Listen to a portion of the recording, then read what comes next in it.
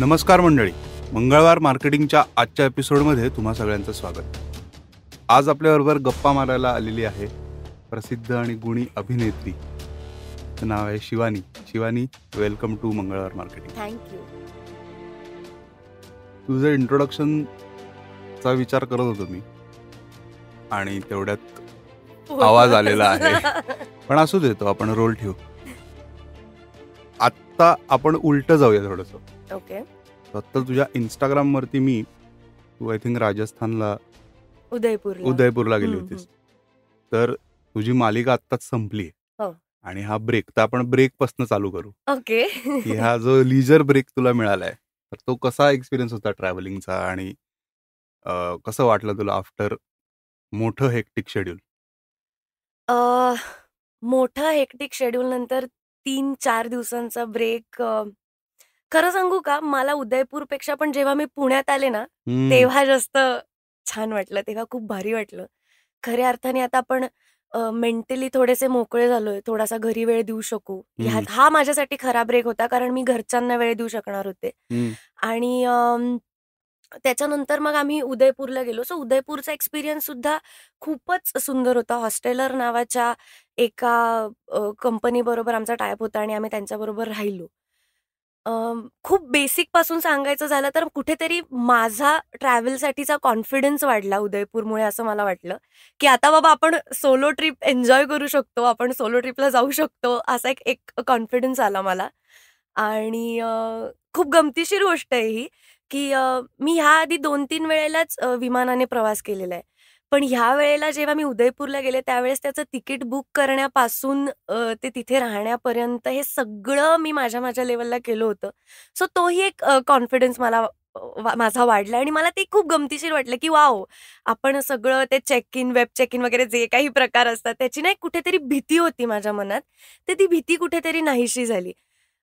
फारच बेसिक मुद्दा आहे हा पण मला खूप मजा आली. नाही बेस्ट आहे ना. कारण की तो ट्रॅव्हलिंग मधला एक एक भाग असतो नेहमीच. करेक्ट की विमानात बसेपर्यंत आपल्याला असं वाटत असतं की काहीतरी आपल्यालाच बोलवतील किंवा आपलीच बॅग उघडतील. आणि आपल्या बॅगमध्ये काहीतरी सापडेल. एक्झॅक्टली तर मग आता हा ब्रेक तर झाला पण त्याच्या आधी तुझी एक सिरियल चालू होती कलर्स वरती.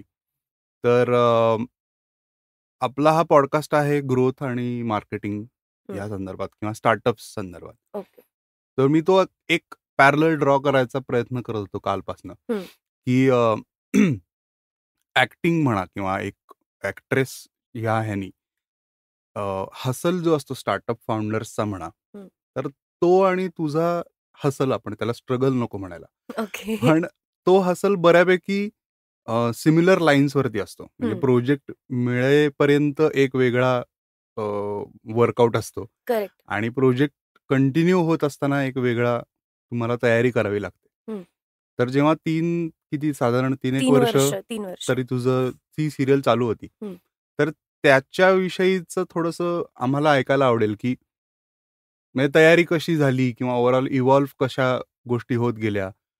फिजिकली मेंटली कसं प्रिपेअर होत गेलीस तू? किंवा काही अडचणी आल्या का. तर त्याविषयी थोडंसं सांग. म्हणजे राजा राणीची ग जोडी हे मिळायच्या आधी किंवा मिळाल्यानंतर पासूनचा प्रवास थोडस सांग.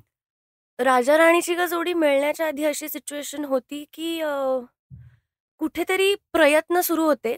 पण माझा स्वतःवर तितका कॉन्फिडन्स नव्हता. किंवा मला हे वाटत नव्हतं की आपण हे तितकं पेलवू शकू आपल्याला तितकं जमेल. माहीत नाही मला पण आम आपल्या म्हणजे अभिनयाच्या क्षेत्रात ना बऱ्याच लोकांचं असं म्हणणं असतं की तुम्ही ज्यावेळेस अभिनय करता त्यावेळेस तुम्हाला काहीतरी प्लॅन बी तुमचा रेडी पाहिजे प्लॅन सी रेडी पाहिजे की कामं नाही मिळाली तर काय? बरोबर. सो त्या मी थोडीफार त्या त्याच झोनमध्ये होते की नाही आपला प्लॅन बी रेडी पाहिजे आणि त्याच्यासाठी ना मी कुठेतरी मेकअप सुद्धा करत होते. मी ब्रायडल. मेकअप सुद्धा राईट करायचे मी त्याच्या ऑर्डर सुद्धा घ्यायचे. माझी आई ब्युटिशियन आहे. सो तिच्यासोबत मी मेहंदीच्या ऑर्डर्स मेकअपच्या ऑर्डर्स हे सुद्धा सायमल्टेनियसली चालू होतं. कारण कुठेतरी माझा कॉन्फिडन्स नव्हता बरोबर. तेवढा.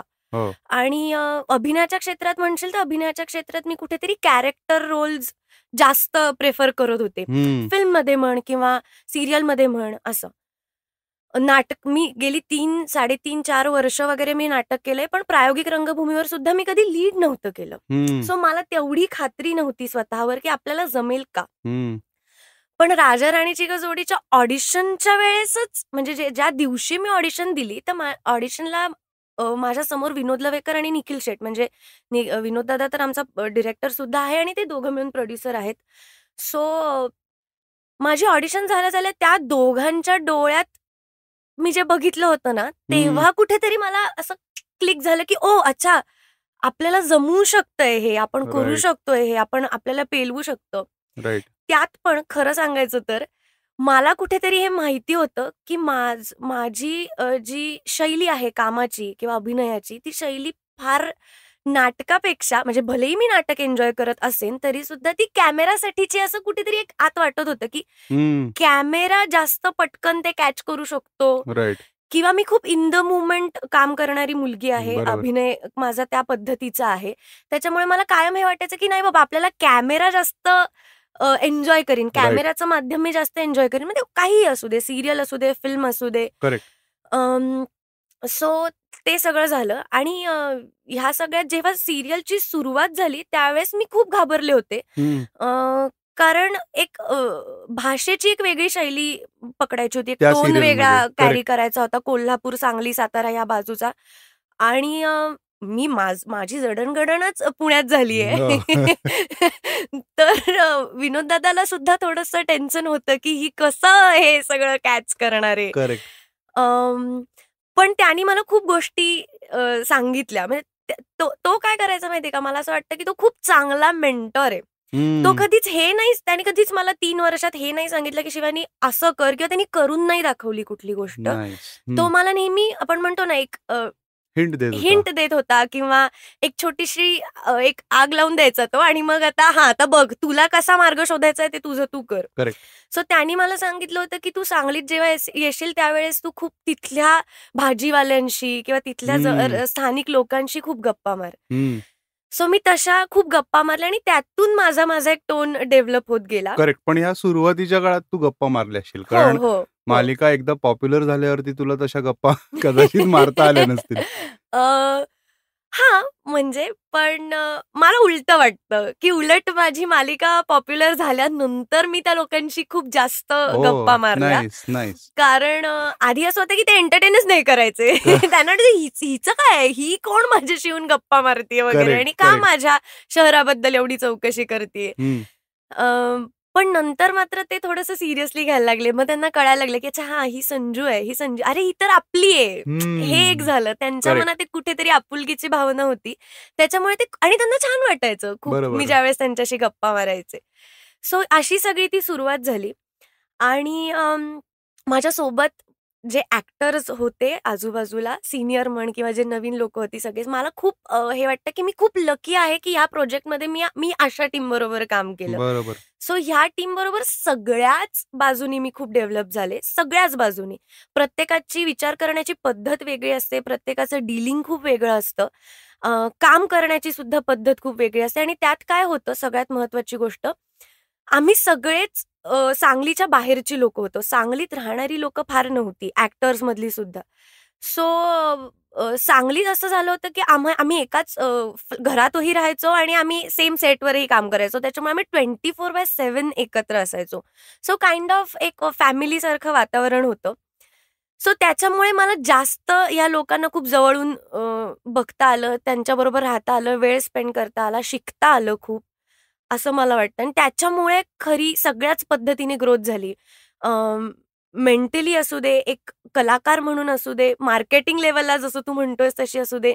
कारण तसं बघायला गेलं तर मार्केटिंग वगैरे ह्या सगळ्या गोष्टींशी माझा फार संबंध नव्हता. तो माझ्यासाठी एक खूप मोठा स्ट्रगल होता असं मला वाटतं. खरंच स्ट्रगल होता. कारण मला पटकन कळायचं नाही.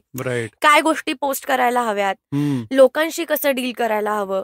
म्हणजे सोशल मीडियावर सुद्धा.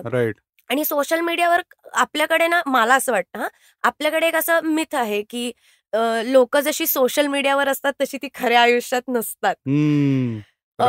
पण मला असं वाटतं की कलाकारांसाठी एस्पेशली ऍक्टर्ससाठी ती खूप मोठी तारेवरची कसरत आहे की तुम्हाला तुमची प्रायव्हेट स्पेस सुद्धा जपायची आहे पण तुम्हाला तुमच्या ऑडियन्स सोबत सुद्धा तुमचे संबंध चांगले ठेवायचे आहेत आणि सगळंच खोटं नाही दाखवायचंय. की सगळं बापरे बघा मी किती मजा करते मग मी इकडे फिरून आले मी तिकडे फिरून आले. नाही. बरोबर. मला असं वाटतं की मी जे काही एक्सपिरियन्स केलं मग त्याच्यात चांगल्याही गोष्टी असू शकतात वाईटही गोष्टी असू शकतात.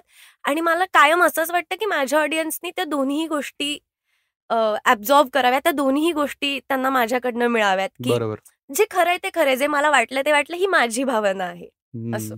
अमेझिंग सो तो सोशल मीडियाचा थोडासा थ्रेड आपण पुढे हे करूया की जेव्हा तुला सिरियल मिळायची होती अजून त्यावेळेस कदाचित तुझे म्हणजे आता आय थिंक किती एक एक म्हणजे one thirty K one thirty six K असं काहीतरी ऑडियन्स आहे तो खूप मोठा आहे. आणि तो एक्सपोनेन्शियली एका पिरियडमध्ये ऑब्विसली वाढत गेला किंवा पहिले थोडा ग्रॅज्युअली वाढला मग नंतर एकदम जोरात वाढला. पण जेव्हा तुझा मे बी दहा हजार फॉलोअर्स होते. त्यावेळेसचं आणि आत्ताचं तुझं ओव्हरऑल कॉन्टेंट प्लॅनिंग याच्यामध्ये काय फरक का मी प्रश्न विचारतोय? बऱ्याच लोकांना आपले नंबर्स खूप भारी असावेत असं वाटत असतं. स्टार्टअप असू दे पर्सनल ब्रँडिंग असू दे.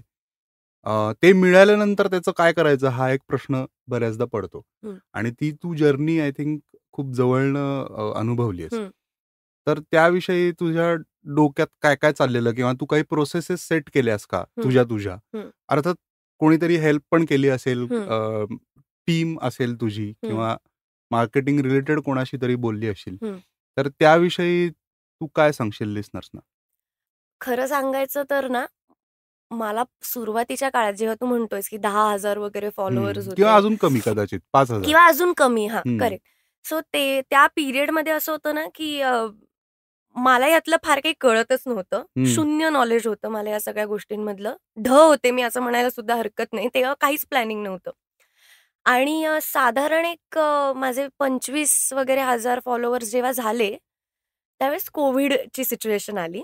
त्यामुळे सलग तीन चार महिने सोळा सोळा सतरा सतरा तास केल काम केल्यानंतर एक भस्कन तीन महिन्यांचा गॅप होता जेव्हा मी घरात होते. काहीच करायला नव्हतं. आणि सगळेच आपण मला असं वाटतं की तेव्हा काही ना काहीतरी सगळ्याच गोष्टी ऍब्झॉर्व करायचा प्रयत्न करत होतो. ही काय सिच्युएशन आहे हे समजून घेण्याचा प्रयत्न करत होतो. पण त्यावेळेस असं झालं की मला असं वाटतं की मी म्हणजे सुदैवानी म्हणा किंवा दुर्दैवानी म्हणा मला त्या गोष्टींची फार झळ नाही पोचली. त्यामुळे कदाचित मी या गोष्टींचा विचार करू शकले की आपल्याकडे आज फॉलोअर्स आहेत. आणि आपण त्याचा कसा वापर केला आपण कसा करू शकतो ह्याचा तेव्हा कुठेतरी खऱ्या अर्थाने मी विचार करायला सुरुवात केली होती. की आपण काय केलं पाहिजे? मला आठवतंय मी माझ्या आयुष्यात पहिलं लाईव्ह हे लॉकडाऊन मध्ये केलं होतं. आणि त्या लॉकडाऊन त्या लाईव्ह करत असताना मला ही गोष्ट जाणवली होती की अरे आपल्याबरोबर खूप मोठा ऑडियन्स आहे. आणि त्यांना आपल्याकडनं खूप अपेक्षा आहेत. पण तेव्हा असं झालं ना त्याच्यानंतर पुढचे सहा सात महिने असं झालं की मला खूप बर्डन आलं त्या गोष्टीचं की आपले फॉलो म्हणजे असतं ना की नाही नाही आपण एक सिरियल लीड करतोय तर मग फॉलोअर्स सतत वाढलेच पाहिजेत. आणि मग इंस्टाग्रामचं अल्गोरिदम काय आहे फेसबुकचं कसं आहे वगैरे हे सगळं समजून घ्यायला पाहिजे. त्याचं खूप बर्डन होतं माझ्यावर की अरे बापरे मग का नाही वाढत आहेत? फॉलोअर्स मध्येच एक पिरियड येतो की जिथे अल्गोरिदम सतत ते हलत असल्यामुळे ना आपल्याला मध्येच एक असा पिरियड येतो की काहीच होत नाही. मायनसमध्ये वगैरे गोष्टी जातात. मग आपल्याला टेन्शन यायला लागतं की अरे का नाही वाढत आहेत? मग आपण चुकतोय का? मग आपल्याला काही जमत नाहीये का? मग आपण पोस्ट केल्या पाहिजेत का सतत वगैरे? तर ह्या कुठल्या तरी पिरियडमध्ये तेजस्वी खोत म्हणून माझी मैत्रीण आहे जी माझं सध्या सोशल मीडिया मॅनेज करते. ती माझ्या आयुष्यात आली आणि तिने मला बऱ्यापैकी गोष्टी सांगितल्या की शिवानी हे असं असं असतं. सो मला असं वाटतं की सोशल मीडियाची एक काइंड ऑफ गुरु आहे ती माझ्यासाठी की तिने मला सगळ्या गोष्टी हळूहळू सांगितल्या की असं असं अल्गोरिदम असतं अशा अशा गोष्टी वर्क होतात आणि मग असं असं तू केलं पाहिजेस वगैरे वगैरे. आणि मग नंतर हळूहळू मी थोडी शांत व्हायला लागले आणि मी शांततेत या गोष्टींचा विचार केला की खरंच या गोष्टींनी तितका फरक पडतो का? रील्स सतत टाकणं तितकं गरजेचं आहे का? त्याचा कंटेंट तितका चांगला असणं गरजेचं आहे का? तर ऑब्व्हियसली आहे. मी ज्या क्षेत्रात काम करते त्याच्यात आत्ता दोन हजार बावीस तेवीस आहेच. म्हणजे कोणीही ही गोष्ट मान्य करेल. पण ह्या सगळ्याचा तुमच्या मेंटल हेल्थवर परिणाम होता कामा नये हे सुद्धा तितकंच महत्वाचं आहे. सो एका पॉईंट नंतर मी बर्डन नाही घ्यायचं हे ठरवून टाकलं. कारण मला ते त्या पिरियडमध्ये असं झालं होतं ना खूप लोक अप्रोच करत होते आणि खूप लोक असतात मग तुझं अकाउंट व्हेरीफाईड का नाहीये? मग तुझ्या ना तेवढे बघत का नाहीयेत? मग तुझं मिलियनमध्ये का नाही जाते व्ह्यूज वगैरे? बरोबर. तर मग मला असं आलं की नाही मला या गोष्टीचं बर्डन नाही घ्यायचंय. किंवा ऑफकोर्स मी माझ्या कंटेंटबद्दल अजून शुअर नाहीये की काय पद्धतीचा कंटेंट मला लोकांपर्यंत पोहोचवायचा आहे ऑफकोर्स मी शुअर नाहीये. पण मला असं वाटतं की मी जशी आहे तशी लोकांपर्यंत पोहोचावं. त्यात एक गोष्ट मला आणखीन अशी ऍड करावी लागते की आम्ही तू जे म्हणतोस ना की फॉलोवर्स ह्याच्याने काय फरक पडतो? जसे जसे तुमचे फॉलोवर्स वाढतात तसे तसे खूप बेसिक भाषेत बोलायचं झालं तर तुम्हाला खूप लोक अप्रोच करतात साठी आणि मग लोकांची अशी अपेक्षा असते ना की नाही नाही मग अरे या या मोठ्या एक्स वाय झेड ब्रँड कडनं हिने हिच्याबरोबर कोलॅब केले बरं का. मग तू का नाही करतेस किंवा मग तू इतकेच पैसे का नाही घेतेस? किंवा मग तू असं का नाही करतेस तू तसं का नाही करतेस हे खूप प्रश्न लोकांचे यायचे. तर मला सगळ्यांना असंच सांगायचं वाटतं की ते माझं अकाउंट आहे. आणि त्याच्यावरचे जे ते एक लाख एक लाख छत्तीस हजार ऑडियन्स आहे ते माझे ऑडियन्स आहेत. त्यांना माझ्याशी कनेक्ट ठेवायचं आहे किंवा त्यांना मी जे पोस्ट करते ते आवडतंय किंवा नसेलही आवडत. सगळ्यांनाच काही सगळ्या गोष्टी आवडत असतील किंवा नसतीलही. बरोबर. पण त्यांच्यापर्यंत मला ज्या गोष्टी पोचवायच्या आहेत त्या मी माझ्याच पद्धतीनं पोचवीन मग मला त्याच्यात कुठल्याही प्रकारचे रिस्ट्रिक्शन नको आहेत आणि जर त्याच्यावर रिस्ट्रिक्शन यावे असं जर मला वाटत असेल तर तो माझा चॉईस असेल. आजूबाजूच्या गोष्टींप्रमाणे सुद्धा आपण किती गोष्टी बदलायच्या नाही बदलायच्या मग मी डान्सचे रील्स टाकले पाहिजेत का? किंवा मी एक फनी कंटेंट टाकलाच पाहिजे का? तर तो माझा चॉईस असेल असं मला वाटतं. तो तो हक्क मी दुसऱ्या कोणाला नाही देऊ करणार इतक्यात तरी. नाही नकोच दिवस म्हणजे पुढे पण नको. कारण की नाही आणि हा खूप चांगला म्हणजे एव्होल्युशन ज्याला आपण म्हणतो की पहिले आपल्याला आणि हे बऱ्याचशा स्टार्टअप्सचं पण होतं करेक्ट. की सुरुवातीपासनं म्हणजे आता माझ्यासारखे पॉडकास्ट असतात किंवा असे मी काय काय सांगत असतो की अरे तुम्ही पाच पोस्ट तरी टाकल्या पाहिजेत हो, हो. आणि दहा सत्तर स्टोरी टाका आणि दिवसाला एक रील पडलंच पाहिजे वगैरे. ह्या सगळ्या जरी गोष्टी असल्या की जिथे कॉन्टेंट आपलं पुढे जाते पण पहिल्या तीन महिने सहा महिन्यामध्ये तो उत्साह पण भरपूर असतो. Correct correct. आणि एक सतत डोकं चालत असतं की आता हे टाकू आता हे टाकू किंवा याचे हे हे टाकल्यामुळे आपल्याला हे मिळेल किंवा ही लोक पाहू शकतील. बरोबर. आणि तुमच्या फील्डमध्ये म्हणजे फिल्म आणि आर्ट फील्डमध्ये तरी बऱ्याच गोष्टी ह्या पाहिल्या जातात किंवा व्हायरल होणं ज्याला म्हणतो आपण. Correct correct. सो तिथे रीच वाढतो. ह्या सगळ्या जरी गोष्टी असल्या तरी तुझा जो आत्ताच हॉट आलाय म्हणजे जो तुझ्याकडे डेव्हलप होत गेलाय. तो सुद्धा स्टार्टअपसाठी फार इम्पॉर्टंट आहे की जिथे तू ठरवतेस की नाही आता हे हे मी ड्राईव्ह करणार आहे. करेक्ट. आणि मग त्याच्यामध्ये चूक बरोबर हा नंतरचा भाग आहे. बरोबर. पण मग तिथे प्रेशर येणार नाही. सो आता दोन प्रश्न मला आपल्या या चर्चेवरनं सुचले की एक तर म्हणजे पॉप्युलॅरिटी किंवा काय म्हणतात फेम हा. सगळा भाग बाहेरनं पाहायला खूप अट्रॅक्टिव्ह आहे.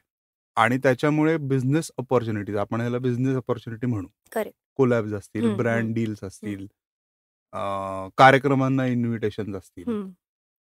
असे तुझ्याकडे आता खूप एन्क्वायरीज हळूहळू यायला लागल्या असतील.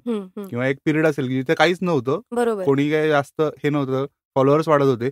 पण अचानक आता खूप विचारणा होती. बरोबर. आणि अनफॉर्च्युनेटली किंवा फॉर्च्युनेटली तुझ्याकडे वेळ तेवढाच आहे. काम करून उरलेला वेळ. तर अनेक लोकांना इन्क्लुडिंग मी नाही म्हणण्याला खूप प्रॉब्लेम येतो. किंवा ते एक आर्ट आहे हाऊ टू से नो तर तिथे तुझा काय स्ट्रगल होता किंवा अजूनही तू असं पण म्हणू शकते अरे मला अजून नाही नाही म्हणतायत तो स्ट्रगल कोणासाठी ही नेव्हर एंडिंग आहे असं मला वाटतं. मी वयाच्या सत्तराव्या वर्षी सुद्धा मला असू शकतं की अरे बापरे यांना कसं नाही म्हणणार किंवा काय. पण माझी एक गोष्ट खूप क्लिअर आहे सोहम. मला असं वाटतं की मी हे तेजस्वीला पण कायम सांगते. आता माझ्या इंस्टाग्राम प्रोफाईल मध्येच तिचं नाव आणि नंबर ऍड केलेला आहे की तर बऱ्यापैकी लोक तिला सुद्धा अप्रोच बऱ्यापैकी लोक तिलाच अप्रोच होतात खरं तर. पण मी तिला हे सांगितलंय की हे बघ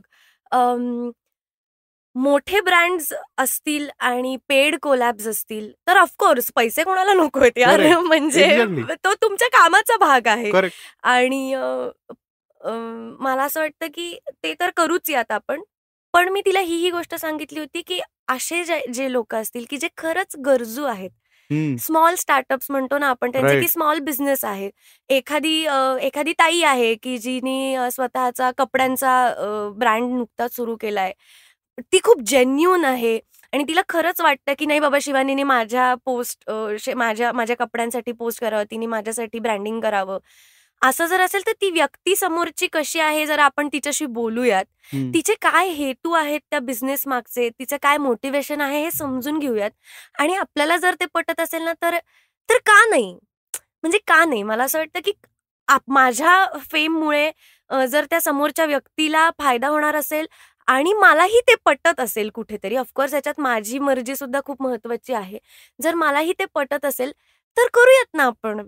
जर खरंच त्यांना गरज आहे आणि त्याच्यानी आता मध्ये असं झालं होतं की माझी एक मैत्रीण आहे पौरवी नावाची तिने एक खूप छान आयडिया सुचवली होती. मला ती स्वतः स्कुबा इन्स्ट्रक्टर आहे. त्याच्यामुळे तिला माहिती आहे की समुद्रात किती काय पद्धतीत किती किती लेवलला कचरा होतोय किंवा काय. तर ती मला मध्ये एकदा भेटली होती आणि ती मला म्हटली की शिवानी आम्ही ज्यावेळेस कधी बीचवर जातो तर आम्ही आमच्या आमच्या पद्धतीने प्रयत्न करतो तो कचरा गोळा करण्याचा वगैरे. पण ह्या सगळ्यात ना स्ट्रॉ प्लास्टिकचे जे स्ट्रॉ असतात तो खूप मोठा मुद्दा आहे की ते स्ट्रॉ पटकन निघत नाहीत. आणि ऑफकोर्स ते पटकन त्याचं काहीच घडत नाही पुढे. तर मला तर तिने मला सांगितलं होतं की शिवानी मी ना स्टीलचे किंवा ते जे अमेझॉनवर एक पाऊच मिळतं की ज्याच्यात वेगळे वेगळे स्टॉज असतात त्यांना साफ करण्यासाठीच एक टूल असतं. सो ती ना ते घेऊन फिरायची. बर. मध्ये आणि तिच्या ओळखीच्या तिच्या आजूबाजूच्या लोकांना ते द्यायची आणि एवढीच एक गोष्ट सांगायची की नाही तुम्ही जे तुम्ही कुठेही हॉटेलमध्ये वगैरे गेलात तर त्यांना सांगा आहे की मला स्ट्रॉ नकोय मी माझा स्ट्रॉ कॅरी करेन. सो हा एक थॉट की ज्याच्याने खरंच पर्यावरणाला सुद्धा फायदा होणार आहे आणि हा जर थॉट माझ्या थ्रू लोकांपर्यंत पोहोचणार असेल तर का नाही? असं काहीतरी मला करायला खूप आवडेल. राईट. म्हणजे स्टार्टअप्सना मला सांगायला आवडेल. अनेक छोट्या स्टार्टअप्सना असं वाटतं की हे इन्फ्लुएन्सर्स किंवा सेलिब्रिटीज हे अनअप्रोचेबल आहेत किंवा खूप ओळख लागते खूप पैसे लागतात.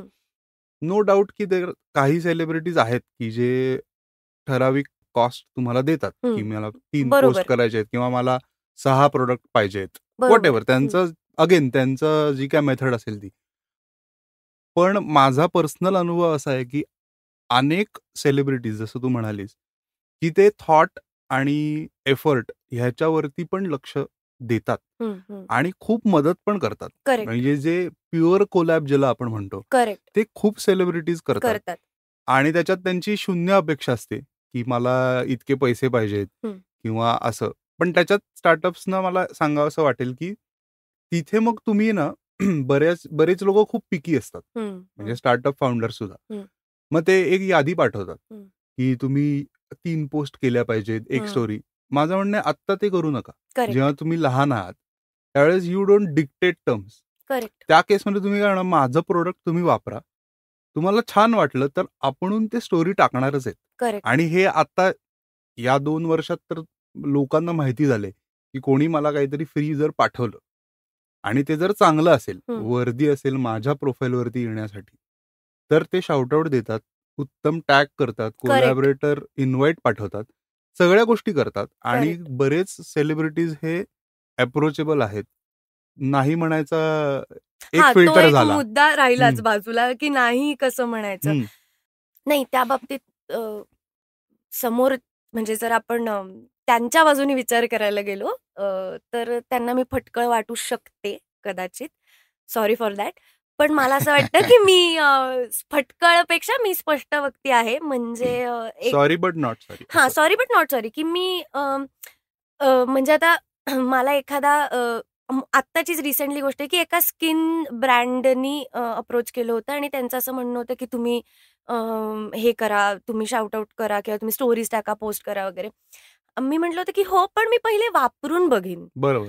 मला पटलं तर मी ते माझ्या लोकांपर्यंत पोचवीन नाही तर मी ते माझ्या लोकांपर्यंत नाही पोहोचवणार. आणि तसंच झालं की ते मला तितकं वर्दी नाही वाटलं किंवा मला ते तितकं इफेक्टिव्ह नाही वाटलं माझ्यासाठी तरी. तर मग मला असं वाटतं की मग अगदीच भस्कन तोंडावर नाही म्हणण्यापेक्षा आपण काहीतरी निगोशिएट करू शकतो. बरोबर. मी माझी खरी मतं देईन पण मी त्या पद्धतीची स्टोरी टाकेन की मला जे प्रोडक्ट्स आवडले मी त्याच्याच बद्दल सांगेन. जे प्रोडक्ट्स मला नाही इफेक्टिव्ह वाटले त्याच्याबद्दल कदाचित मी नाही टाकणार. बरोबर. तर त्यांच्यासाठी ते कुठेतरी काय म्हणतात त्यांना ते हर्ट हर्ट करण्यासारखं असू शकतं कदाचित. बरोबर पण मला असं वाटतं की तोच आमच्या हातातला एक खूप मोठा टूल आहे ना. आमच्यामुळे लोकांपर्यंत गोष्टी पोचतायत. तर मग त्या चांगल्याच पद्धतीने पोचाव्यात. उद्या जाऊन असं नको वाटायला की नाही शिवानीनी सजेस्ट केली होती ही ही क्रीम म्हणून मी ती वापरली पण ती मला नाही युजफुल झाली. अरे पण ते तसं नाहीच होणार आहे म्हणजे. ते तू घरी नाही बनवत. एक्झॅक्टली ते मी नाही बनवलंय. असं पण आहे ना. तर ती पण एक कुठेतरी मला असं वाटतं ती एक रिस्पॉन्सिबिलिटी आहे खूप मोठी. येस येस डेफिनेटली आणि तिथे तो तो प्रोडक्ट वेट करणं म्हणजे तो वापरून पाहणं किंवा त्याचे पर्सनल रिव्ह्यूज जर का असतील आणि ते लोकांना जास्त आवडतं. ऑडियन्सला हे खूप जास्त चांगलं कळतं बरं का, की कोण किती लेवलला पेड प्रमोशन करते करेक्ट. आत्ताची आपली ऑडियन्स खूप जास्त हुशार आहे. सो त्यांना त्यांना असं गंडवता नाही, डिसिव्ह नाही करतायत खूप काळ. म्हणजे एक्झाम्पल काही काही इन्फ्लुएन्सर्स आपण नावं नको घ्यायला. ते लोकांना त्यांचे त्यांचे समजतीलच. पण खूप लोक असतात की ज्यांचं फक्त सेल्स सेली कॉन्टेंट सेलू कॉन्टेंट असतं. आणि ते कळतं की ओके ह्यांना बिकॉज त्यांना पैसे मिळाले ते हे प्रॉडक्ट प्रमोट करतात त्याचा काही अर्थार्थी संबंध बऱ्याचदा नसतो. आता जेव्हा ऑडियन्स इंटरॅक्शन हा भाग येतो तर तुला तर डीएमची संख्या किंवा कॉमेंट्सची संख्या ही प्रचंड असणार आहे. आपण फक्त फॉलोअर्सचा काउंट लक्षात इथे नाही घ्यायला पाहिजे. इथे तुझी नॅशनल टेलिव्हिजनवरती मोठ्या चॅनलवरती जेव्हा इतक्या वेळ सिरियल चालते त्यावेळेस तुझी व्हिजिबिलिटी हा सगळ्यात मोठा फॅक्टर आहे. तो फॉलोअर्समध्ये किती कन्वर्ट होतो हा आपण सोडून देऊ मुद्दा. पण मग ह्याच्यात हे जे सगळं कॉन्टेंट तुझ्याकडे येते जे तू मागितलं नाहीयेस. कॉमेंट्स तू काय म्हणत नाहीस की कॉमेंट करा किंवा डीएम तू म्हणत नाहीस की मला डीएम करा. पण हे आलंय. तर मग ह्याच्यात फ्री ह्याच्यात तुझा फिल्टर कसा तू डेव्हलप करत गेलीस? किंवा असं काय करतेस का की दर दररोज एक अर्धा तास तू स्वतः रिप्लाय करतेस? किंवा इग्नोर काय काय करायचं हे कसं ठरवलं खरं सांगू का खूप मोठा टास्क आहे. अरे हा तुम्हाला नाही जमत एस्पेशली जेव्हा सिरियलचं शूट सुरू होतं तेव्हा तर इतकं हेक्टिक शेड्यूल होतं की नाहीच मिळायचा वेळ. म्हणजे खूप लोक सांगायचे चॅनलची सुद्धा लोक सांगायचे की तुम्ही लाईव्ह करा तुम्ही लोकांबरोबर मग ते स्टोरी सेशन्स करा तुम्ही कमेंट्सना रिप्लाय द्या. पण ते प्रत्येक वेळेला नाही होत. माझ्या परीनं मी जितकं जास्त करू शकेन तितका मी प्रयत्न करायचे. मी असा काही वेळ ठरवला नव्हता दिवसभरातला की इतक्या वेळात मी करीनच वगैरे. पण जी लोक मला असं वाटतं की त्यातल्या त्यात जर तू आजही माझे इंस्टाग्रामचे कमेंट्स बघितलेस तर जी लोक रेग्युलर आहेत ना की जे कायम कमेंट करतात चांगली वाईट काहीही असू दे जे कायम कमेंट करतात त्यांच्या बरोबर कनेक्टेड राहण्याचा मी जास्त प्रयत्न करते. राईट आता तुम्हाला फिल्टर लावणं मला खूप अवघड वाटतं. खूप जास्त अवघड गोष्ट आहे ती की तुम्ही तुमच्या कंटेंटसाठी किंवा तुमच्या कॉमेंटसाठी फिल्टर कराल किंवा तुमच्या ऑडियन्ससाठी फिल्टर कराल शक्यच नाहीये ते. शक्यच नाहीये आता मला माझ्यासाठी तरी. की किंवा मी हे नाही करू शकत, की एखाद्या माणसाने जर एखादी कमेंट केली, तर मी चुकीची वाईट काहीही असू दे, तर मी मी जाईन, मग मी त्याचं प्रोफाईल चेक करीन. मग मला जर वाटलं, की हा माणसाचा प्रोफाईल ओके आहे, तर मग मी त्याला रिप्लाय देईन. नाही तर कोण आहे मी? मी कोण आहे? त्याला त्याच्या प्रोफाईलवरनं जज करणारी. बरोबर. मी कोणीच नाहीये. सो मला जर ती कमेंट खूप जेन्युन वाटली मी रिप्लाय देते. मला नाही वाटली मी नाही रिप्लाय देते. हे इतकं बेसिक बरोबर. त्याच्यामध्ये एक एक थॉट प्रोसेस अशी आहे. बरेच लोक ती फॉलो करतात किंवा काही इन्फ्लुएन्स ज्यांचे खूप जास्त असे कमेंट्स आणि डीएम्स येतात. त्याच्यामध्ये त्यांनी एक ब्लँकेट ठरवून ठेवलेलं आहे बऱ्याच लोकांनी. की ते कॉमेंट्समध्ये काही वाचतच नाहीत. कारण की मी हे का विचारतोय?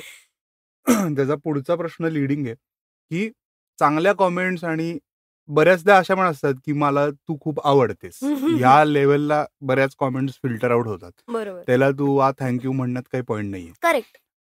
पण काही कमेंट्स अशा असतात की ज्यांनी ना ज्याला आपण निगेटिव्ह फीडबॅक म्हणू किंवा बोचरा फीडबॅक म्हणू ज्यांनी तुमचं डोकं हलू लागतं. तर ते फील्ड तसा काही तुझा एक्सपिरियन्स होता का? की अरे! माइंड ऑक्युपाय होऊन जातं त्यांनी आणि मग ते न वाचलेलंच कधी कधी फायदेशीर ठरतं. तर असं तुझं झालंय का सिरियल ह्या किंवा टेलिव्हिजन या क्षेत्रात ही गोष्ट खूप वेळेला होते.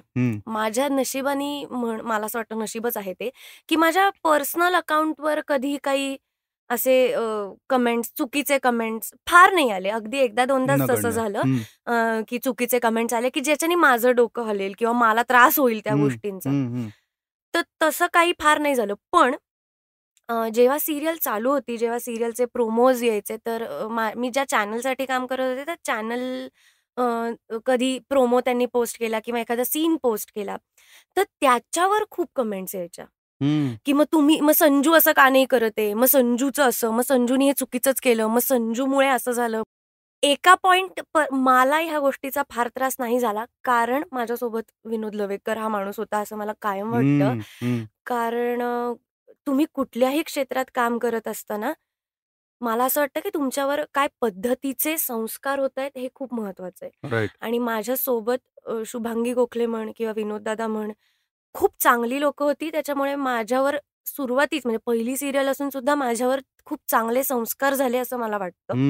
श्रीकांत यादव म्हण खूप खूप भारी माणसं आहेत म्हणजे मला आता त्यांच्याबद्दल बोलताना सुद्धा माझ्या अंगावर काटा येतो. पण मला विनोद दादा कायम म्हणायचा की शिवानी खूप त्रास होत असेल ना तर नको वाचूस. नको लक्ष देऊस. कारण त्याच्यानी तुझ्यावर तुला त्रास होणार असेल आणि तुझ्या कामावर फरक पडणार असेल तर नाही आपण या गोष्टींचा त्रास करून घ्यायचा. कारण शेवटी मी एक ऍक्टर आहे. मी काय रायटर नाहीये. सिरियलमध्ये काय घडेल काय नाही घडणार हे मी ठरवत नाहीये. ती ते ठरवणारी लोक वेगळी आहेत आणि त्यांची गणित पण वेगळी आहेत. करेक्ट करेक्ट ऑफकोर्स खूप वेळेला असं होतं की एखादी गोष्ट मलाही नाही पटत की असा सीन कदाचित शिवानी म्हणून तो सीन मला पटलेलाही नसेल पण संजू तसं करू शकते. बरोबर. हाच खूप मोठा मुद्दा आहे ना एका ऍक्टरच्या आयुष्यातला. सो मला त्या गोष्टी सुरुवाती सुरुवातीच्या काळात मी खूप कमेंट्स वाचायचे. प्रोमो एखादा पडला मग कोण काय बोलतय? मग अरे अरे खूप लोकांना हा आवडलाय. अरे खूप लोकांना नाही आवडलाय. मग नाही आवडलाय तर भीती वाटायची की अरे बापरे माझ्या कॅरेक्टरच्या बाबतीत इतका हेट्रेड निर्माण होतोय का? जेव्हा की जरी मी पॉझिटिव्ह कॅरेक्टर करतीये जरी मी एक लिडिंग रोल करतीये तरी सुद्धा इतका हेट्रेड निर्माण होतोय का? तर ऍट दी एंड ही गोष्ट माझ्याही लक्षात आली की तुमच्या हातातच नाहीये ते. तुम्ही काहीच करू शकत नाही. हे झालं माझ्या बाबतीत. पण ह्या सगळ्याचा जर खूप जास्त त्रास कोणाला झाला असेल तर तो माझ्या फॅमिलीला झाला असं मला वाटतं. कारण माझे आई वडील एकतर मुळात ते बिचारे दोघही सोशल मीडिया या सगळ्या गोष्टींसाठी फारच नवीन होते. माझ्यामुळे ते ह्या सगळ्या गोष्टींमध्ये इंस्टाग्रामवर अकाउंट काढणं फेसबुकवर ऍक्टिव्ह होणं मी आजही आजही मला माहितीये ते माझ्यासमोर कबूल करत नसतील दोघही. पण मला माहितीये की ते युट्यूबवर जाऊन युट्यूबवर आता ते व्हिडिओज येतात ना लोक एडिट हो. करून व्हिडिओज टाकतात वेगळे वेगळे चॅनलचे लोक. सो ते त्या प्रत्येक व्हिडिओच्या प्रत्येक कमेंट वाचणार. अरे बापरे. काय चांगलं लिहिलंय काय वाईट लिहिलंय? मग त्याच्यावरनं त्यांचा त्यांचा एक निष्कर्ष असायचा आणि मग ते मला येऊन सांगायचे की आणि मग ते मला म्हणायचे की का असं काहीतरी करताय तुम्ही. मग तू बोल ना दादाशी मग तू त्यांना सांग ना तुम्ही ट्रॅक चेंज करा. तर मग मला असं व्हायला लागलं की असं कसं होईल? असं कसं? माझ्या हातात ती माझा अधिकारच नाहीये तो हक्कच नाहीये माझा. नाही त्यांच्यासाठी पण आणि खूप नवीन होतं जसं तू एक्झॅक्टली प्लस ते कसं होतं की त्यांच्यासाठी एका बाजूला इतकी अभिमानाची पण गोष्ट असते. सेकंडली ओव्हरफ्लो त्यांच्याकडे पण जातो तो फेमचा म्हणजे आता आपण हे बघतो म्हणजे त्याच्याविषयी मला तुला विचारायचं आहे की असे खूप मीडिया चॅनल्स आहेत. युट्यूब असेल छोटी इंस्टाग्राम अकाउंट असेल की जे काहीतरी बाईट पाहिजे असतो त्यांना सेलिब्रिटीजचा. आणि मग ते घरच्यांना पण इन्व्हॉल्व्ह करतात हो. की मग मम्मी बरोबर तुझं कसं नातं आहे वगैरे? किंवा फादर्स डे वगैरे किंवा भावाबरोबर तू बऱ्याचदा फोटो वगैरे टाकतेस. तर त्यांनाही असे रिक्वेस्ट येत असतील ना की तुम्हाला शिवानी बद्दल लहानपणीच्या आठवणी खूप. म्हणजे माझे मित्र मैत्रिणी म्हणू नकोस माझे कझिन्स म्हणू नकोस माझ्या फॅमिलीतले दूर दूरचे रिलेटिव्ह म्हणू नकोस की ज्यांच्याशी कदाचित माझाही फार कॉन्टॅक्ट नसेल. माझे आई वडील तर हो ऑफकोर्स त्याच्यामुळे मी बरेच दिवस बरेच माझी सिरियल सुरू झाल्यानंतर पण वर्ष दीड वर्ष माझ्या आई-वडिलांना स्ट्रिक्टली सांगितलं होतं, की तुम्ही Instagramवर किंवा Facebookवर येऊ नका. तुम्ही अकाउंट ओपन करू नका. तुम्हाला त्रास होईल. कारण माझ्या भावाचं अकाउंट आहे आणि त्याला काय पद्धतीचा त्रास व्हायचा बरं तो तर लहान आहे, तो खूपच लहान आहे. सो त्याला माहितीच नाहीये की या लोकांशी कसं डील करायचंय आणि ना काय होतं सो सुरुवातीच्या काळात फॅन पेजेस हा जो एक मुद्दा असतो ना हो. तर मला पण कळायचं नाही की या लोकांबरोबर मी कसं अप्रोच करू काय बोलू पण मग नंतर नंतर मला कळायला लागलं की माझे जे फॅन पेजेस आहेत अजूनही माझं खूप प्रेम आहे त्यांच्यावर आणि मी खूप म्हणजे मला खूपच भारी वाटतं हो, त्यांच्याबद्दल की ते हो. माझ्यावर एवढं प्रेम करतात. पण मला हळूहळू कळायला लागलं की खूप प्रमाणात ना टीनेजर्स आहेत. मग एक खूप मोठा टास्क उभा राहतो की मग ह्या लोकांना कसं डील करायचंय? म्हणजे हे क्रिएटर्स जे आहेत ते टीनेजर हा तर बऱ्याच वेळेला ना सुरुवात जर तुम्ही लक्ष दिलं नाही ना तर तुम्हाला माहितीच नसतं की समोरचा माणूस भाई आहे कोण? कोण आजी करतायत काका करतायत काय करतायत तुम्ही? आणि मग अशी पण कायम अशी एक भीती राहते की आपण चुकीचा एक शब्द जरी चुकीचा बोललो तर मग ते त्यांच्या मनाला लागेल मग ते काहीतरी चुकीची पोस्ट करतील मग ते चुकीचं लिहू शकतात आपल्याबद्दल. तर ही पण खूप भीती असते. सो मग माझा जो कलिग होता मणिराज तर मला असं वाटतं की माझ्यापेक्षा जास्त त्रास त्या त्याला जास्त झालाय ह्या सगळ्या गोष्टींचा. पण मग हळूहळू आम्ही त्याच्यावर चर्चा केली आणि आम्ही दोघांनी मिळून ठरवलं होतं की आपण ना बोलूयात आपल्या फॅन पेजेस मधल्या लोकांशी. मग आम्ही थोडं थोडं हळूहळू बोलायला लागलो की एखादं रील त्यांनी पोस्ट केलं की आवडलं का तुम्हाला? मग मी आम्ही सांगायचो की हो आवडलं. मग ती लोक आम्हाला स्वतःहून सांगायला लागली की ताई मग ते ह्या झोनमध्ये ताई मी दहावीत आहे बरं का? ताई मी हे. करते बरं का किंवा मी असं आहे बरं का माझं तसं आहे बरं का. आणि मग ते लोक सांगायला लागले की ताई सॉरी बरं का माझी परीक्षा हे पण झालंय की ताई माझी सॉरी परीक्षा आहे तर मी पोस्ट नाही करू शकत दहा दिवस वगैरे. आणि माझं असं असायचं की ठीक आहे काही हरकत नाही तुम्ही अभ्यासावर कॉन्सन्ट्रेट करा. सो अगेन हे मी त्यांच्या बरोबर करू शकते पण मी हे सगळ्यांबरोबरच नाही करू शकत सगळ्यांबरोबरच मी करूच शकत नाही. सो हे बाईट्स वगैरे कारण की तो तो एक कॉन्टेंटचा भाग आहे आणि कदाचित म्हणजे आपल्या ज्या गप्पा होत आहेत ह्याच्यातनं तो अँगल मला चांगला वाटतोय की जिथे लॉंग फॉर्म कॉन्टेंट आता बऱ्याचदा ना तुझे म्हणजे आता येतात आपल्या फीडवरती पण येतात. पाच मिनिटं सात मिनिटं असे हे असतात की what is in your bag what is on your phone तर हे डेफिनेटली सेलिब्रिटीज किंवा ऍक्ट्रेस म्हणून ह्या अनेक गोष्टी या क्लिकेबल असतात. करेक्ट पण त्याच्यातनं तुझी थॉट प्रोसेस काय आहे किंवा तू कसं अप्रोच करतेस ह्या कुठल्याच गोष्टी येत नाहीत त्याच्यामध्ये. म्हणजे तो फक्त एक फन एलिमेंट आहे किंवा आता शिवानी हा ही बॅग वापरते तर मग आपण पण वापरायला पाहिजे. तो एक कनेक्ट येतो नाही म्हणायला. पण असे लॉंग फॉर्म कॉन्व्हर्सेशन मधनं आय थिंक तो लोकांपर्यंत चांगला चांगला जाऊ शकतो. आणि मी तुला अजून एक सांगते हे जे व्हिडिओज असतात ना की तुझ्या फोनमध्ये काय किंवा तुझ्या बॅगमध्ये काय ते मजेशीर आहेत. मला मजा येते त्याची. मला काहीच प्रॉब्लेम नाही. मी तुला सांगू मला इंटरव्ह्यूजची सुद्धा खूप मजा येते. चांगल्या पद्धतीचे प्रश्न समोरचा माणूस विचारणार असेल तर. थँक्यू या. पण ह्याच्यात जेव्हा घरचे इन्व्हॉल्व्ह होतात त्यावेळेस थोडासा त्रास होण्याची खूप शक्यता असते. सो मला आणि ऑफकोर्स मला खूप जण विचारायचे की मग भाऊ बीज आहे मग भावाबरोबर व्हिडिओ करूयात का? फादर्स डे आहे वडिलांबरोबर व्हिडिओ करूयात का? तर मला असं वाटतं की जेव्हा समोरचा माणूस इन्व्हॉल्व्ह होणार आहे तर मी कायम ह्या गोष्टीची काळजी घेतली की त्यांची इच्छा आहे का? आता माझ्या मला कायम वाटायचं की माझ्या वडिलांचीही कधीच इच्छा नसेल किंवा ते कधीच असं इंटरव्ह्यू वगैरे देणार नाहीत माझ्यासाठी. माझ्या भावाचं ठीक होतं तो आत्ताचा मुलगा आहे त्यात ही वॉज ओके की हा त्याला ते ते काय म्हणतात एक अट्रॅक्शन पण असू शकतं. कारण टीनेजर कॅटेगरीतलाच आहे करेक्ट राईट राईट पण सरप्राइझिंगली माझे वडील एकदा मला विचारलं होतं फादर्स डे ला वडिलांबरोबर व्हिडिओ करूयात का? आणि सरप्राइझिंगली ते हो म्हटले. आणि सरप्राइझिंगली त्यांनी इतका उत्तम इंटरव्ह्यू दिला. कडक. इतका उत्तम की मला त्या दिवशी म्हणजे तो खूप इमोशनल मुमेंट होता खरं तर माझ्यासाठी. कारण त्या दिवशी मला कळलं की अरे बापरे हे कदाचित त्यांच्याकडनंच आलंय का माझ्यात? किंवा हे तेव्हा एक थोडस मला झालं की काकांना रोल नाही ना ऑफर झाला नंतर. पण ते तसं तशी पण मजा आहे. त्याच्यामुळे असं काही हार्ड नाहीये काही गोष्टी त्याच्यात. अवघड नाहीये की केलंच पाहिजे नाही केलं पाहिजे. तुमची इच्छा असेल करूयात नाही ठीक आहे सोडून द्या. करेक्ट सो आता सिरियल मिळायच्या आधी जो एक ऍक्च्युली डोक्याला तापच असतो.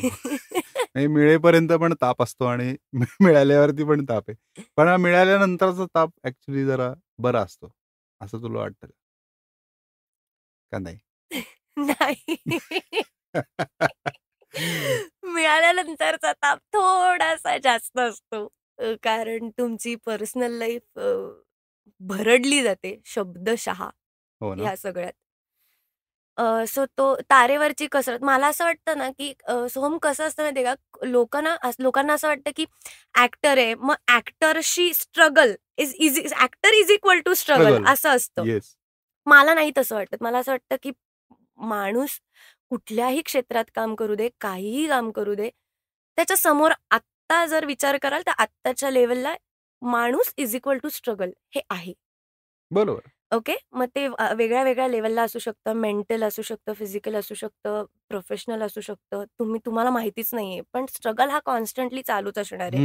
आणि जेव्हा सीरियल सुरू झाली, तर मला असं वाटलं होतं नाही का, पहिले 15 दिवस वॉव! आपल्याला सीरियल मिळाली. झालं सेट आहे लाईफ. काहीच टेन्शन नाही. आता काय, आता सीरियल झाल्यानंतर मला खूप कामं येतील किंवा मी काम चांगलंच करणार आहे वगैरे. मी तर माझं नाणं वाजवणारच वगैरे. सो पण तसं काही होत नाही. एक गोष्ट जर गेली, तर दुसऱ्या गोष्टी सांभाळायला तुम्हाला खूप लागतात. त्याच्यासाठीचे स्ट्रगल्स येतात. मला असं वाटतं की ते एक नदीसारखं आहे.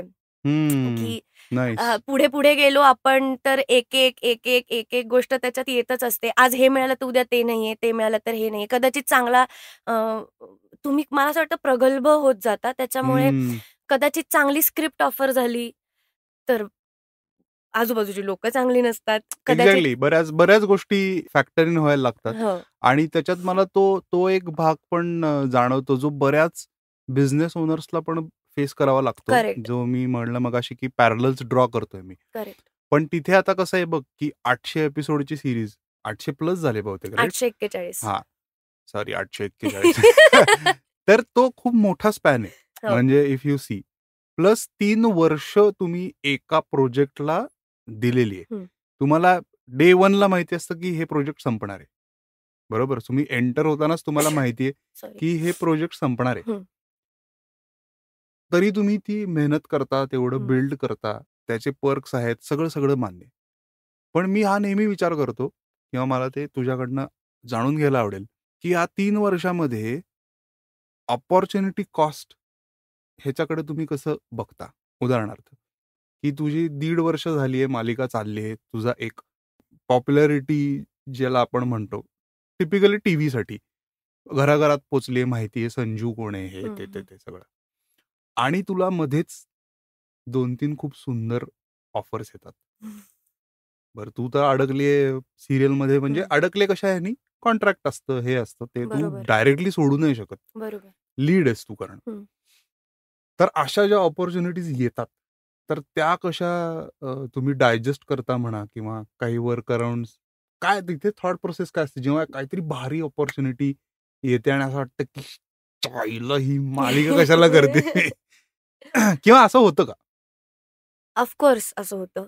ऑफकोर्स आपल्याला असं वाटत असतं की यार बरं माझी पहिलीच सिरियल होती त्याच्यामुळे पहिली म्हणजे लीड म्हणून पहिली सिरियल होती आणि तो एक्सपिरियन्स माझ्यासाठी पण खूप नवीन होता. पण मला असं वाटतं, की त्या एक्सपिरियन्समधनं मी खूप जास्त शिकले. कारण येस ऑफकोर्स काही खूप चांगल्या अपॉर्च्युनिटीज आल्या, काही वाईटही आल्या. वाईट अपॉर्च्युनिटीज सोडताना आपल्याला काही वाटत नाही. तेव्हा वाटतं बरं झालं सिरियल करतोय. हां, तेव्हा वाटतं, की बरं झालं सिरियल करतोय. पण चांगल्या अपॉर्च्युनिटीज सोडताना अक्षरशः मनावर दगड ठेवावा लागतो, की नाही करत वगैरे. पण मला असं वाटतं, की मी मी राजाराणीची जोडीला किंवा मी माझ्या संजू या कॅरेक्टरला खूप जास्त लॉयल होते. त्याच्यामुळे कुठेतरी मला पचवायला तितका त्रास नाही झाला. बरोबर. कदाचित उद्या असं होईल, की मी एखादी फिल्म करत असेन, एखादी परत सिरियल करत असेन आणि तेव्हा जर मला एखादी चांगली अपॉर्च्युनिटी आली आणि मग ती जर मला सोडावी लागली, तर तेव्हा कदाचित जास्त त्रास होऊ शकतो. माहीत नाही. आय एम नॉट शुअर किंवा नाहीही होणार. पण मला असं वाटतं, की नाही ते तुम्ही आत्ता जे काम करताय ते तुम्ही किती डेडिकेशननी करताय त्याच्यावर हा तुमची प्रायोरिटी काय आहे त्याच्यावर त्या सगळ्या गोष्टी डिपेंडेंट आहेत की आणि मला तेव्हा फ्रॉम डे वन जसं तू म्हंटलास ना की तुम्हाला माहिती असतं की हे कधी ना कधीतरी संपणार आहे. तर माझ्या आजूबाजूच्या लोकांमुळे म्हण किंवा स्वतःशी स्वतः जेव्हा मी विचार करायचे त्यावेळेस मला माहिती होतं की मी पहिल्या दिवसापासून या गोष्टीची मनाची तयारी ठेवली होती की कुछ पाने के लिए कुछ खोना तो पड़ता ही है. बहुत कुछ खोना पड़ता है. बहुत कुछ सॅक्रिफाईस करना पड़ता है. आणि तर मला माहिती होतं की ही सिरियल कधीतरी संपणार आहे. सो तेव्हा सुद्धा मला त्रास होईल. कारण माझा इतका वेळ मी त्याच्यात घालवलाय. आणि ऑफकोर्स मला खूप गोष्टी खूप अपॉर्च्युनिटी सोडाव्या सुद्धा लागतील. ह्याची सुद्धा माझी कुठेतरी तयारी होती मनाची त्याच्यामुळे कदाचित मला फार त्रास नाही झाला असं मला वाटतंय. आता पुढे मला माहीत नाही कदाचित पुढे जर मी सिरियल करीन फिल्म करीन तर मला असं वाटतंय पण की मी एका वेळी एकाच प्रोजेक्टवर कॉन्सन्ट्रेट करावं. एका वेळी दोन दगडांवर जर मी पाय ठेवायला गेले तर मी एक नादड बराबर चिंध्या होऊ शकतात कदाचित त्याची मला कुठे किंवा त्याची मे बी असं पण होईल की त्याची पण तुला प्रॅक्टिस होईल. करेक्ट. आणि मग ते पण एक लर्निंग असेल. असू शकतं. आपल्या गप्पा खूप जोरात चालू शकतात किती वेळ. पण एक शेवटचा प्रश्न घेऊ. कारण तूही बिझी आहेस. आणि पण आता न ही हे प्रोजेक्ट संपलं मोठं प्रोजेक्ट संपलं. आता पुढे तुझ्या समोर काय दिसतंय किंवा तू काय तयारी करतेस ओव्हरऑल प्रिपरेशन वाईज म्हणा किंवा का तू लाईक अरे बेस्ट आहे निवांत झोपते या झोनला नाही नाही मी अशा झोनला अजिबात नाहीये. ऑफकोर्स मला काम सतत सुरू ठेवायचंय कारण मी फार वेळ मोकळी बसू शकत नाही असं मला वाटतं. तीन वर्ष सलग टेलिव्हिजन केलेलं असल्यामुळे थोडस टेलिव्हिजन माध्यमाला छोटासा एक ब्रेक द्यावा. आत्ता तरी असा एक विचार आहे की छोटासा एक ब्रेक द्यावा आणि बाकी गोष्टी एक्सप्लोर कराव्या. बाकी माध्यम एक्सप्लोर करावी नाटक असेल सिनेमा असेल वेब सिरीज आपल्याकडे सध्या खूप माध्यम हो, आहेत. खूप मीडियम्स आहेत. सो मला असं वाटतं की ते जरा एक्सप्लोर करून बघावं. त्याच्यात आपण काय काय नवीन गोष्टी करू शकतो ते बघावं. आणि मला असं वाटतं ना की मी कधीच ऍक्टर्स असं असतं ना की अशा पद्धतीचा रोल करायचा आहे अशा पद्धतीचं हे करायचंय ते करायचं तर माझं तसं कधीच नव्हतं. मी कायम कधीही इंटरव्ह्यू मध्ये मला हा प्रश्न विचारला तर मी सांगतेच की स्क्रिप्ट आणि डिरेक्टर ह्या दोन खूप मोठ्या आणि महत्त्वाच्या गोष्टी आहेत माझ्यासाठी. स्क्रिप्ट पण तितकी तगडी असली पाहिजे कॅरेक्टर तितकं तगडं असलं पाहिजे. पण त्याच्यासोबत डिरेक्टर मला असं वाटतं की मी डिरेक्टर्स ऍक्टर आहे. सो माझ्यासाठी डिरेक्टर कोण आहे हे खूप मॅटर करतं. जर डिरेक्टर समोरचा तो कारण तो कॅप्टन ऑफ द शिप असतो. सो मला असं वाटतं की तो जर तितका तगडा असेल ना तर मी डोळे झाकून विश्वास ठेवू शकते आणि मग मी स्वतःला कम्प्लिटली सरेंडर करू शकते तिथे. एक क्लीन स्लेट घेऊन की हा बाबा आता काय करायचंय तुम्ही? बोला. सो असंच आहे डोक्यात सध्या की समोर अपॉर्च्युनिटीज येतील पण त्या निवडताना स्क्रिप्ट काय आहे आणि डिरेक्टर ऑफकोर्स या दोन्ही गोष्टी कायम चांगल्याच मिळतील असं नाही. पण मग तरी सुद्धा माझा कायम भर पहिले डिरेक्टरवरच असेल, की डिरेक्टर जर चांगला असेल आणि स्क्रिप्ट थोडीफार ओके, ओके असेल, तरी काही हरकत नाही. आपण करून बघूया अमेझिंग. सो आता या या तुझ्या प्रोजेक्टमध्ये बऱ्याच बरेच तुला विचारणा झाली असेल जिथे तू नाही पण म्हणली असेल आणि अशीच नाही म्हणत राहा. म्हणजे चांगलं चांगलं काम आम्हाला बघायला मिळेल. आणि आपण परत एक राउंड टू कधीतरी डेफिनेटली करू. तुझ्याबरोबर गप्पा मारायला नेहमीच मजा येते शिवानी आणि तू शिवानी ऑफिशियल असं हँडल व्हायच्या आधीपासून आपण ओळखतो आणि त्यामुळे खूप छान वाटतं. म्हणजे जेव्हा सिरियल पण लागते आणि असं प्रोमो मध्ये वगैरे दिसतं, अरे भारी वाटतं. ते खूप छान वाटतं. तर तुझ्या पुढच्या कामासाठी खूप खूप शुभेच्छा. थँक्यू मंगळवार मार्केटिंगकडून सुद्धा आणि माझ्याकडून सुद्धा. थँक्यू आणि थँक्यू मला इथे बसून असं छान एकदम गप्पा मारायची संधी दिली स्टुडिओ फील आहेच. पण मला मला अशा गप्पा मारायला जास्त आवडतात. त्याच्यामुळे छान वाटलं मला पण खूप. ऑल राईट चला. मंडळी भेटूया पुढच्या मंगळवारी अशाच एका एपिसोडमध्ये तोपर्यंत राम राम.